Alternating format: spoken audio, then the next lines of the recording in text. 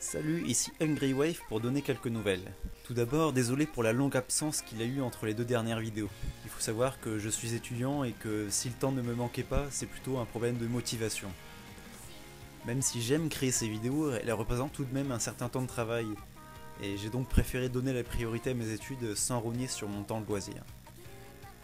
Car oui, j'avoue avoir d'autres passions que la japanimation.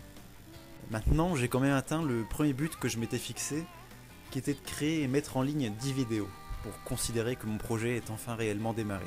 Concernant le futur de la chaîne, je vais continuer à créer ces vidéos, mais à une fréquence complètement irrégulière. Je ne peux plus me permettre de garantir l'arrivée d'une nouvelle vidéo vers telle date. Je peux juste vous dire que je vais essayer d'en faire plusieurs dans les semaines à venir, car ce sont celles où je serai le plus libre. À partir de mi, voire fin janvier, le rythme diminuera sûrement, et entre avril et mai, je ne pense pas en sortir. Après juin, je ne sais pas, mais je reprendrai dès que je le pourrai.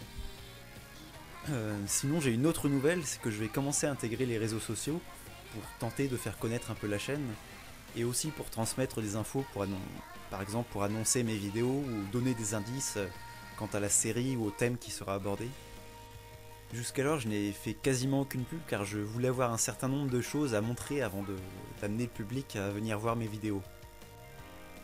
De plus, je ne recherche pas spécialement à avoir un certain nombre de vues.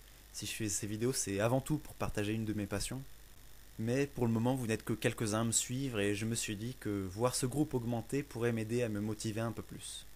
Pour finir, j'espère que vous continuerez à me suivre.